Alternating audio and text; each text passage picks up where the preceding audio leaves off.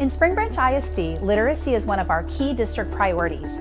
September 8th marks International Literacy Day, an annual day aimed at raising awareness around literacy and why it is so very important. This month of September is also Library Card Sign Up Month, and I encourage all of our students and families to make use of any library available to you, whether it's a school library, a public one, a hardcover book, or an ebook.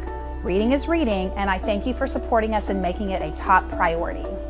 Through initiatives such as Read SBISD and partnerships with Good Neighbors, our goal as a district is for every child to read on or above grade level by third grade and then keep reading.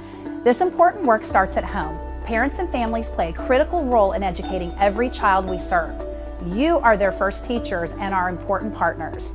With supports in place like the Read SBISD Parent Reading Guide and programs such as My Home Library and Reading Buddies, our focus on literacy has never been stronger. Learn more about our amazing literacy initiatives at www.springbranchisd.com forward slash read.